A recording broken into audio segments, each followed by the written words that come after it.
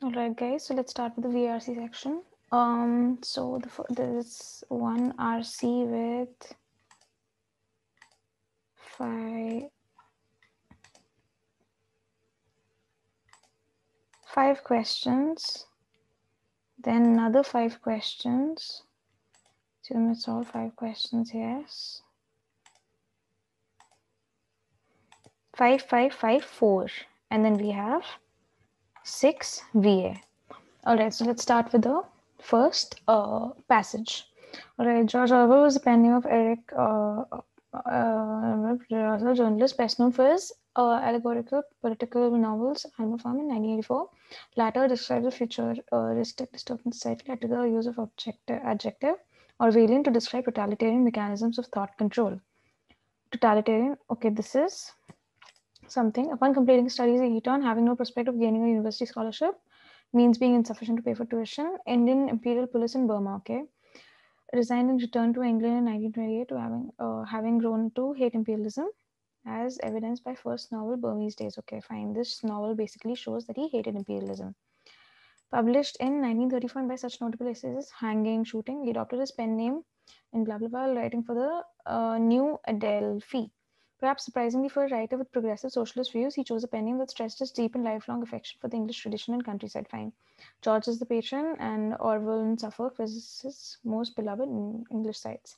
Blair lived for several years in poverty, sometimes homeless, sometimes doing itinerant work, as he recalled in the book Down and Out in Paris. He eventually found work as a school teacher until ill health forced him to give, up, give this up to work part time as an assistant in second-hand bookshop.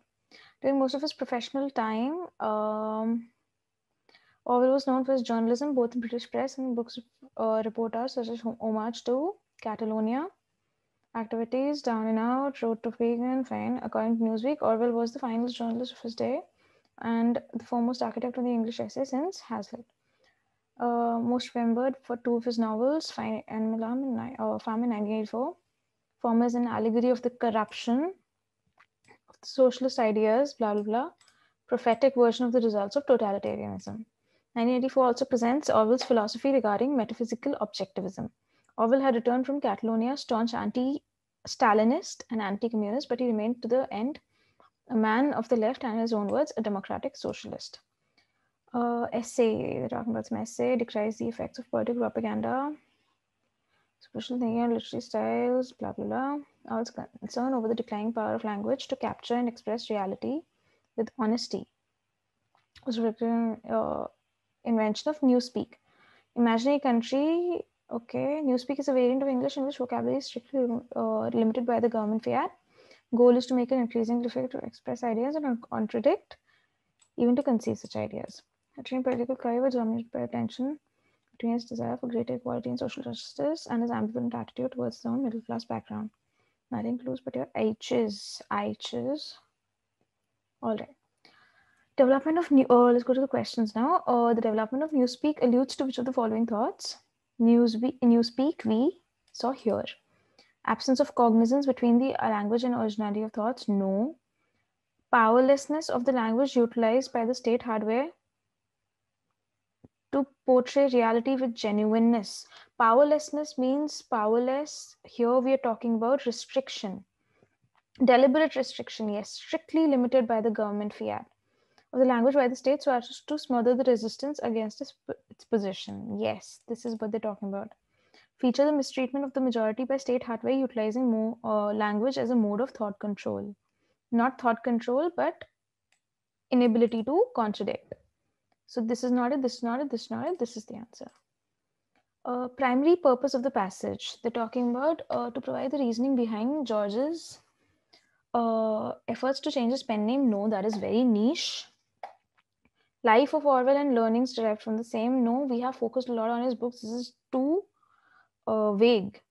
All Orwell's political and literary career and synergies derived from the same. No, we talked about his life, his personal struggles as well. Life of George Orwell and learnings described uh, derived from his famous. This is it. This is precisely the summary. What it talks about in the passage. passage can be taken from which of the following sources? So this was a very detailed passage about an author, his political views, and also his uh, writing styles, right? So article in a magazine is two. Uh, literary review website could be a possibly uh, possible answer because a literary website would have uh, some authentic information and it would be inclined towards literature. Article in a magazine is too uh, generic. Autobiography would have been first person. This is not an auto- autobiography. Textbook in pol science no we're talking about literature here. So it's a literary review website as per the author uh, eric blair's decision of a changed pen name is odd on the grounds that the name doesn't adjust well we saw this where um, we saw this um, Right. Here. So the name doesn't adjust well to Blair's uh, reformist perspectives on society and legislative issues. No. An individual of Blair's social political philosophy is probably not going to have a name established in English custom. This is it. Lifelong affection for the. Right. This is all talking about the English custom individual of Blair's conviction conviction no this is too vague. Uh, to be keen no it's talking about why it would not have a name. A person would not have a name. Despite the fact that blair was an individual reformist his indifference doesn't. This is some other dimension entirely. This is what they're talking about in the paragraph here. Which of the following can be construed from the passage? Uh, orwell was a superior writer than the author. No, I don't think so. Uh, this is something that's really vague. We cannot even comment on it. Orwell's English essays were his best work. No, they're talking about best known for journalism. We have, we're talking about classic essays and we're talking about two books. No, that is nowhere written, no comparison. Colonialism and socialism equally unsuitable. While we have spoken about both, there's no comparison mentioned anywhere in the paragraph. So I'm going to go with none of these. All right, so it's the next passage. Uh, with an unauthorized biography, the reader becomes, whether we like it or not, a thief breaking into a public figure's unauthorized biography, right? breaking into public figures' home to root through their stuff and unearth their secrets. With a memoir, uh, the author welcomes the guest in and allows us to snoop around at our leisure. Amis cuts to the chase, uh, then telling us to take what we'd like. But as you might have guessed, Inside Story is no ordinary memoir. Amis inside story. In fact, it calls itself a novel. In truth, it's a hybrid beast, a record of a real life written with all the freedom of fiction, its style, tactical ingenuity, and narrative leaps, while also moonlighting as an advice book to young writers and a literary critique of some of the key influencers on Amis' work. So, this is all that the book is about. There's a lot of things in the book.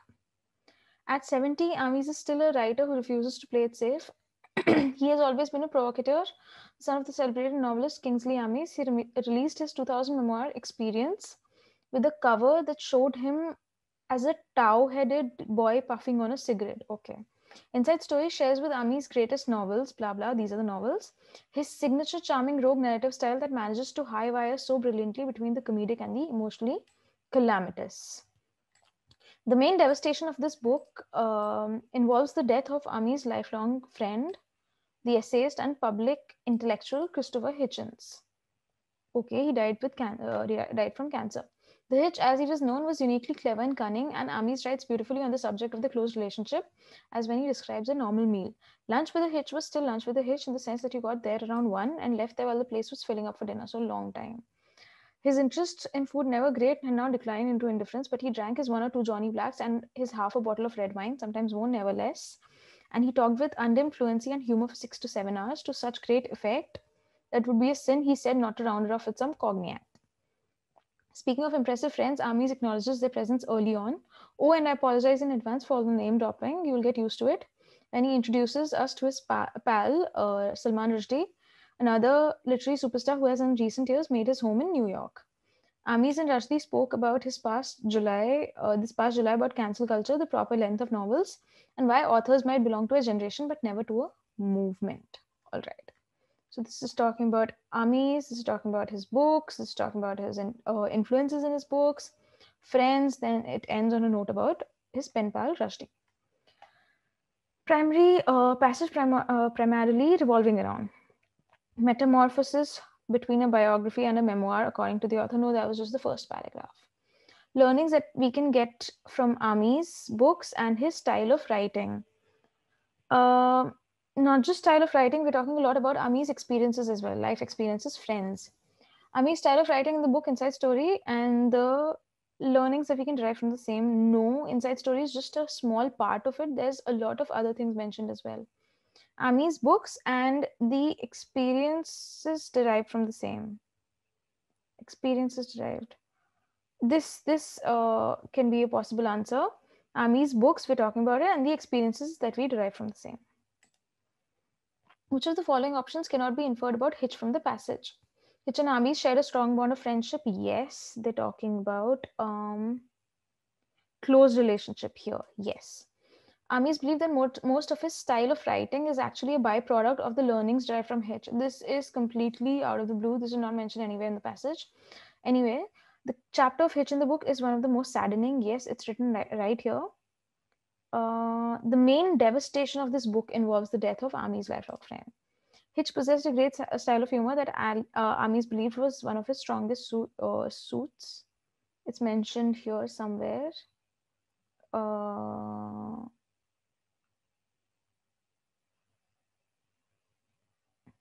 right, and influency and humor to such effect, right? So this is out of the blue. Author of the passage. The author is a literary expert who is especially uh, keen on exploring Amis' writings and experiences.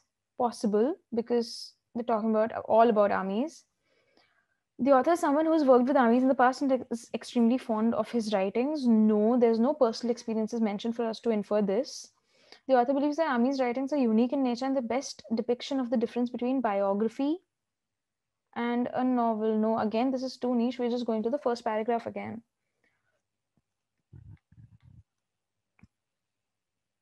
Strong, opinionated, and possesses extremely rigid views about Amis' style of writing. No, there is no rigidity in his views. It is just experience derived. This is the proper explanation. Difference between a biography and a memoir, as per the passage, right? We saw it in the first line itself. First, this. Biography is written by someone who is fond of the person. Memoir is personally written by the same person. No this is completely incorrect. Memoir talks about various memories associated. Biography is more contextual. No. Biography is restrictive in exploring the thoughts of the author as against a memoir. Yes this is what they're talking about biography is restrictive and memoir which is more welcoming. Here they're saying with the memoir the author welcomes the guest in right? The uh, biography is written from the point of the point of view of the author. No no. Audience perspective this is completely irrelevant. If the author were to continue this passage what would the next paragraph talk about? Now in such questions we go to the last paragraph where we left off. So we left off with the author introducing us to Amis' friend Salman Rushdie and right and where they had an uh, had a discussion on something right so we see initially okay, let's just go to the options. Amis' experience about inside story and specific instances revolving around Hitch. Now we know that passages only get narrower as we go down, so we cannot just go back up and talk about inside story again. Hitch was the second last paragraph, so we can't go back there. Amis' understanding and love for the literary work that is so well encompassing various parameters. No experiences with Rushdie and the inspiration that he has gained from the same, which could be the possible explanation because we ended up on Rushdie and initially we talked about Hitch and the uh, experiences with Hitch. So this is how the author would continue. Rushdie's experiences, no, this is again talking about Rushdie while the passage is about Ami, Amis. All right, so we have another passage here. The internet is not what you think it is. For one thing, it is nearly not as newfangled as you probably imagine. It does not represent a radical rupture with everything that came before, either in human history or in the vastly longer history of nature. A recent permutation of a complex of behaviors as deeply rooted um, in a species and as anything else we do. Storytelling, fashions, blah, blah, blah, dense with symbols. In order to convince you of this, it will help to zoom out for a while, far from the world of human-made devices, away from the world of human beings altogether, gaining at that height a suitably distant and lucid view of the natural world that hosts us and everything we produce. It will help that is to seek to understand the internet in its broad ecological context. Fine, we are looking at internet from an ecological context against the background of the long history of life on Earth. Elephant stomp, seismic event, signature vibration took in distance of kilometers, clicks of sperm whale, sometimes heard familiars on the other side of the world, fine. Nor is it only the sound that facilitates animal communication. Many or perhaps most signals sent between members of the same species pass not through sonic vibrations, but through chemicals. Emperor moths emit pheromones 15 kilometers, correct emphasize a distance comparable to the one traversed by even the most resonant sperm whales. Click fine. So, nor is there any reason to draw a boundary between animals and other living beings. Numerous plant species, among them, them tomatoes, uh, lima beans, blah blah blah, uh, use airborne bacteria to send chemical information to the conspecifics across significant distances, triggers defense-related gene expression, other changes in the growth and development. Telecommunication is sooner the norm than the uh, exception. It's the norm. Some might protest that telecommunication is being used in an equivocal way. Uh, as for example, we say of an irate cyclist at an intersection and of a computer when it freezes up with a blah blah blah. Some might object that is concealed sperm whales and animal uh, elephants sending out signals that may be processed as information. That is symbolic encoding of propositional content that is then decoded by a conscious object. Subject, the same uh, may surely not be said of lima beans. Fine. Let us grant, if only to avoid unnecessary complications, that lima beans are not conscious. Fine. Ask why when telecommunications in uh, conscious and unconscious life forms alike evidently involves the same principles and mechanisms we should be so quick to assume that telecommunication in our own species must be the product of consciousness. Rather than being an ardent system that rose in the same way as lima bean signaling only belatedly began to allow human consciousness to ride along with fine. So it's talking about internet and how it's more ecological than a recent development. Fine so uh, what do you why does the author say the internet is not what you think it is? So the uh, author believes the uh, development of the internet in recent times is much more than what we imagined it to be right? Uh, because the other things that it's not given its due diligence since we fail to understand how huge no not talking about due diligence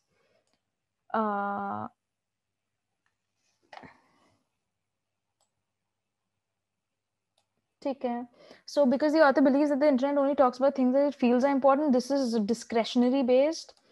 Feels that the internet takes into account recent developments and not important but old information. This can be our answer. First one, let's go back to the first one. Recent times is much more. No, it's trying to tell us that it is more ecological than a very recent phenomena. So, fourth is the answer. Drawing a boundary between animals and other uh, uh, living beings between mm, on uh, internet does not draw a boundary. They're saying boundary nahi bana they're saying here nor is there any reason to draw a boundary. Drawing a boundary between animals and other living beings is irrelevant because internet information treats them equally yes. Cannot be considered in the same league hence boundary is quintessential. Again no the same right? Yeah. A boundary is needed because numerous plant species tomatoes this is completely off topic main idea of the passage. Importance of the internet in ever evolving times. Uh not really no they're talking about what it what internet's context is with respect to ecological point of view. Understanding the most recent permutation of a complex of behaviors as deeply rooted in who we are as a species. This is completely copying a line from the first paragraph and pasting here. Somewhere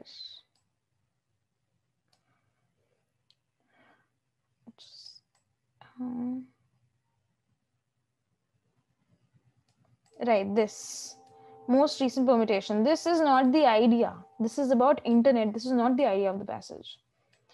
Changing our preconceived notions about internet being all encompassing and making us look at the picture differently. This is what they're talking about when they say, you know, you go a little farther away, zoom out for a while, look at the different picture.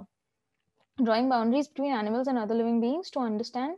No, we don't have to draw boundaries, is the point cannot be inferred. Uh, so uh, internet is not all encompassing and only considers No, they're saying it's all encompassing. Uh, telecommunication in human species must be the product of consciousness, consciousness as against other living beings. No. Last paragraph says why should be it be a product of consciousness? No. Between animals is done through sonic vibrations. Let's go back to the sonic part. Um, it's clearly written here more signals sent between members of the same species pass not through sonic vibrations but through chemicals. So this is clearly wrong. This cannot be inferred from the paragraph passage. The product arose from consciousness but should be rather deep rooted. Right? Weaken the argument of the author. So the author is talking about how all living beings are same and everything should be treated uh, equally and you know uh, their behaviors are all the same, their uh, ideas are all the same, and there's no boundaries. So it has been proven that under certain situations, the inner behavior of animals as against other living beings is different. So this is what will negate it. Recent research conducted has been observed that lima beans are not conscious. The author is saying that they're not conscious. So it won't negate. Uh, limited in regards to its offerings no. Internet is all encompassing uh, and covers content related to man-made changes. No. This is uh, more than a cluster of knowledge this is our answer. Fine. This is the last passage. When i studied anthropology back in the early 1980s neanderthals were still largely the bulk broad brutes of yore grunting in smoky caves and loping across the tundra their vanishing from the fossils record some 40,000 years ago was a result of competition. Actually, on second thoughts, let's just clear the response here. And we'll come back. We'll mark for review next. Um, grunting in smoky caves and loping across the tundra. The vanishing from the fossil record some 40,000 years ago was a result of competition, interbreeding, own forebears story as I received then retained something of the racially hierarchical views at large when the first fossilized bones were recovered in Germany from near the Neander River in 1856. Neanderthals were made extinct by an altogether smarter creature. It was inevitable that clue was in the name Homo sapiens, right? Have come a long way since. Uh, more finds more caves, more bones, more stools, more middens, articulations. Relativism has replaced the hierarchy as the overall context for interpretation, but perhaps the most striking advance analytical methods, genetic 3D imaging, carbon 14 strontium isotopes, intricate details of physio- physiog- physiognomy and activity, how they sat, what they carried, as well as possible social structures. What has also done is trigger a landslip of studies which have buried any hope of popular understanding. Fine. Rebecca Sykes has performed something extraordinary, distilling them into commanding and wonderfully readable account. So there's a lot of research papers and all, bulk of research papers, and she has uh, distilled them into a commanding and wonderfully readable account, leaving us with glimpses of real scenes of imagined individuals and groups going about their daily lives. Archeo ethnography rather than speculative fiction. Okay, so this is something realistic rather than speculative fiction. Her vocations emerge from behind extensive passages of science, but the effect is surprisingly moving. The only regret is that if Progress in Neanderthal studies continues at the same pace. Kindred will, at least in detail, soon become outdated. Um, what we know of Neanderthals is this they were concentrated in Western Eurasia, slightly larger, eyes and nostrils were bigger. Difference, right? Okay.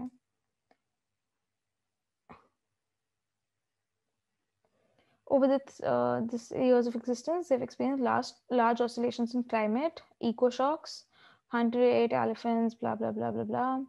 Violence was rare, but injury frequent, accidental injury, build shelters, understood the value of treating animal skins with oak tannins, burnt bones, stone tools, right side bias, specialized activities, vigorously escaping, hides or knapping, flints, fine.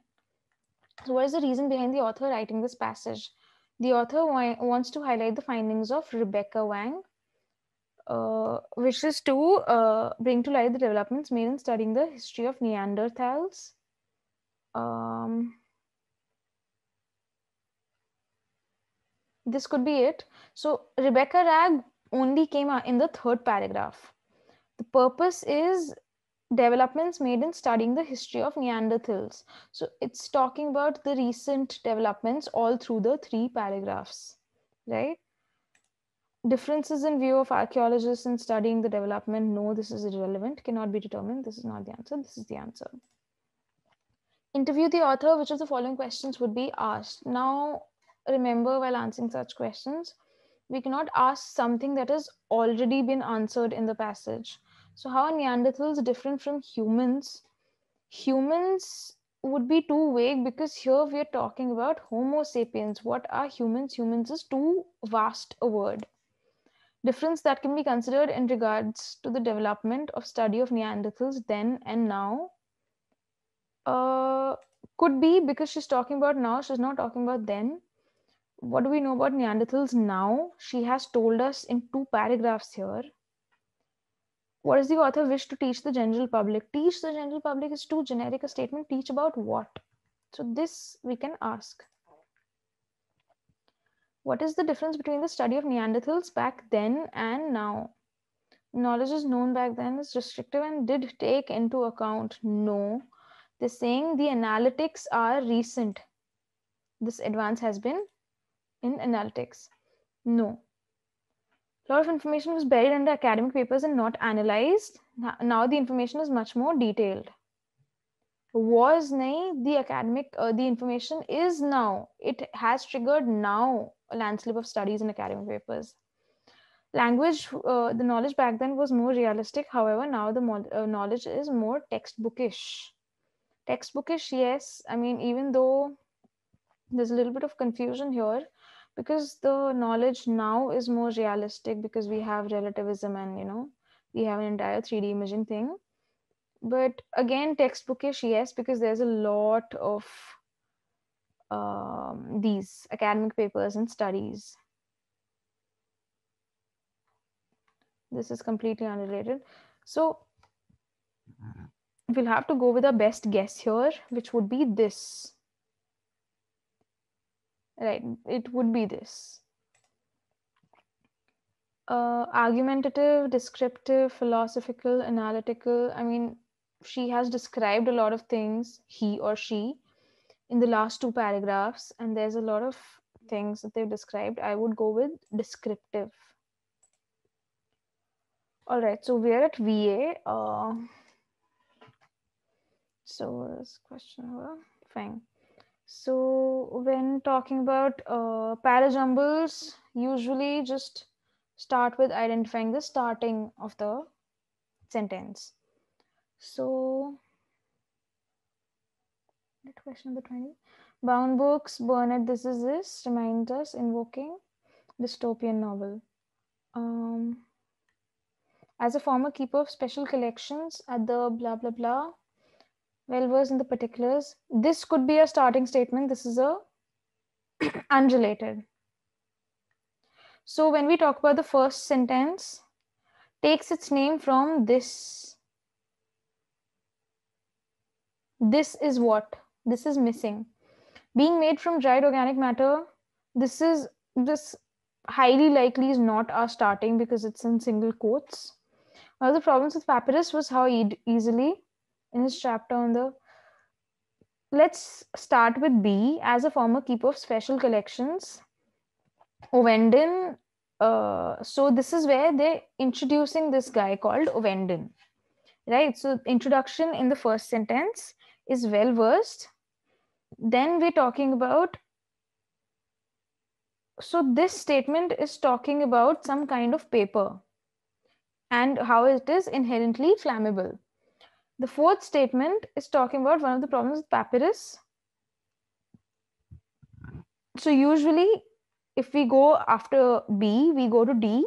One of the problems was how easily it could be set on fire then he's explaining in C being made from dried organic matter, it is inherently flammable. How easily it could be set on fire, it is inherently flammable. Bound books printed on paper burn at blah blah blah. When reminds us, reminds us in contrast to this, right? Invoking this is novel that takes its name from this. So we have a sequence, we have B, D, C, and A. B, D, C, A.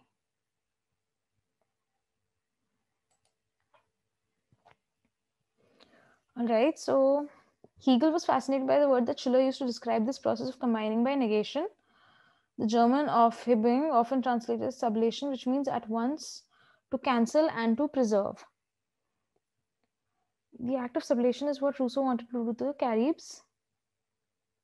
Okay, lack of foresight, preserve the presentness, and thereby raise them up into a more ordered form of life. In Hegel's writings, um,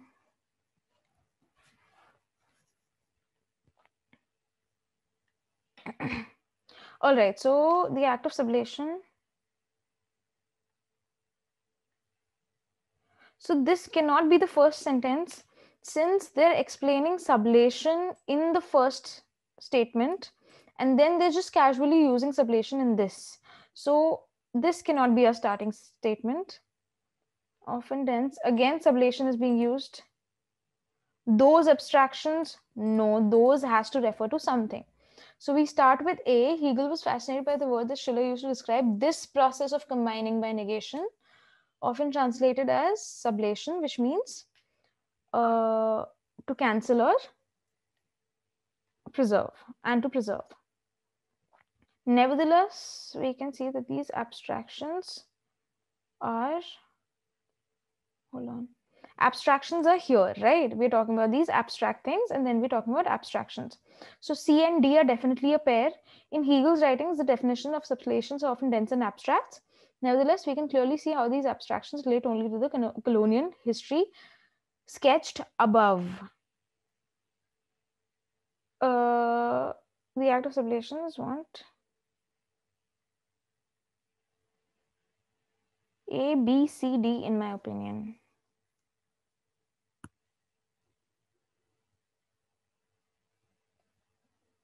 A, B, C, D, right? So sketched above, colonial history. Colonial history sketched above. This is the colonial history. So this is odd one out. We have eight minutes remaining. Good enough. There's no need to reject how biologists define the sexes to defend the view that trans women are women. But the use of DNA to make offspring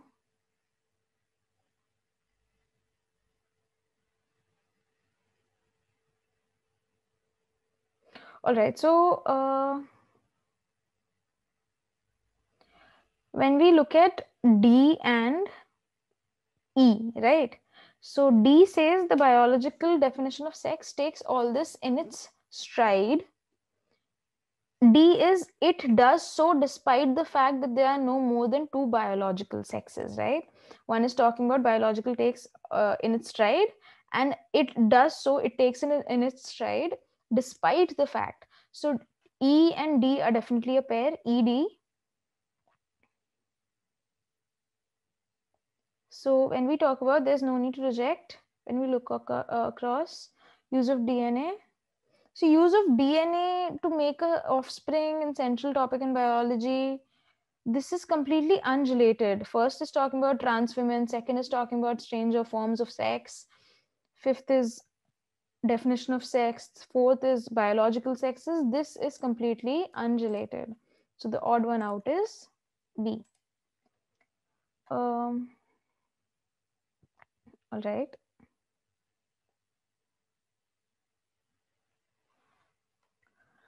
So in 1960, set out to find these places. Okay, no, hoping the descriptions of the sagas might lead them to no sites. They set off in a sailboat and went down eastern Canadian coast. They were looking for places mentioned in the sagas, including forest land, which was flat and wooded, fine, continuing to sail in southerly directions reached Newfoundland. So before even trying to make a coherent paragraph here, they talk about Helge Ingstad and his wife find these places, hoping leading them to Norse sites. They, they set off in a sailboat, find they're still talking about these people who went out to find something, find these places, which is Norse sites. They were looking for places mentioned in these sagas, including Okay, again, what they were looking for, they the Ingstads finally reached Newfoundland. Archaeologists found objects at the Goddard site that were made with 10 different minerals. Completely irrelevant. So E is our answer. These and other threads of uh, this is summary. These and other threads of anarchist thought have different emphases. What links them all is the rejection of external authorities, whether that of the state, the employer, or the hierarchies of administration and of established institutions like the school and the church. The same is true uh, of more recently emerging varieties of anarchist propaganda, green and anarcho feminism. Those who believe that animal liberation is an aspect of human liberation, they claim that the only ideology consistent with their aims is anarchism. So, in spite of having various emphases, all assortments of anarchism reject the outer position, which is what the paragraph is saying, in spite of having various these various emphases like green and anarcho-feminism, all assortments reject the outer position, uh, rejection of external authority. Where, uh, let's look at the second option. Various strings of political agitation have various emphases. Political agitation is not relevant here, I think. Uh, and all the more as of late rising, consistent, are predictable with the disorder. No. All types of anarchism reject outside power, including the more as of late varieties. This is again what the first one is saying, but here we have this is a summary. A summary is never supposed to have examples. Green rebellion, anarcho feminism, anarchist propaganda. These are examples. We're never supposed to have examples in a summary. These type of anarchisms have various accentuations, yet they all offer an aversion of outside power. No, this is yet. This is the saying differences are yet they do. The first one is saying in spite of having, this is a general position that unites them, right? Now, House London, Mishra has reached the point where summary judgments can be treated, treated as authoritative by a Western audience. Yet the basis of those, those judgments was established long before his name began to carry weight. Over the course of an uh, exceptional career, he has continually picked at the knot joining ambitious fancies in the global center to the peripheral bloody business that enables them, the dialectic of great expectations. If thinking harder and studying more can curb the spread of violence, might it follow that ignorant cliches amount to apologia for murder? So this is talking about this dude, uh, Mishra, who lives in London, and he has created his reputation, authoritative reputation in the Western culture. So they're talking about how he did this, and he has established certain things. So, uh, okay, let's look at the options. Mishra has established an authoritative claim on the Western audience since he moved to London. No, they're just telling there he's in London right now. There's nothing about since he moved to London. Thanks to Mishra's amazingly well-established career and deeply rooted knowledge, he's able to generate. Uh, yes, uh, because they're talking about his career and they're talking about uh, basis of this judgment was established before his name began to carry weight. Exceptional career and the stuff that he did, right? Amazingly well-established career and deeply rooted knowledge about these things he's able to generate. Let's look at the next one. Ignorant cliches amount to apologia. This is a very off topic. We're talking about Mishra here. Exceptional career and constant linkages to understanding Western culture can always be proven to be an error. No, way too generic. This is what we're talking about. We have one minute, 50 seconds left. Um, so we'll weaken the argument. The author is talking about how internet is all about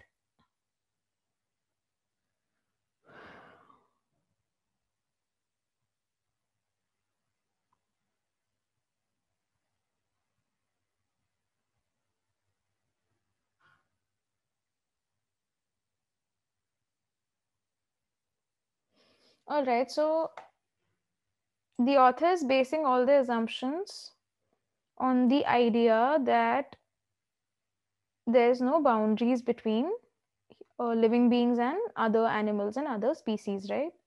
So, under certain situations, inner behavior is different. So, this will weaken, definitely weaken the argument.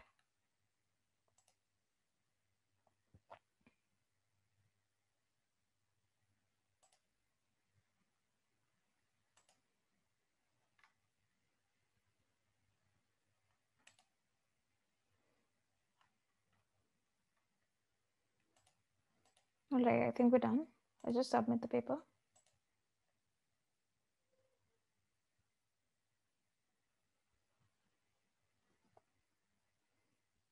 I'll make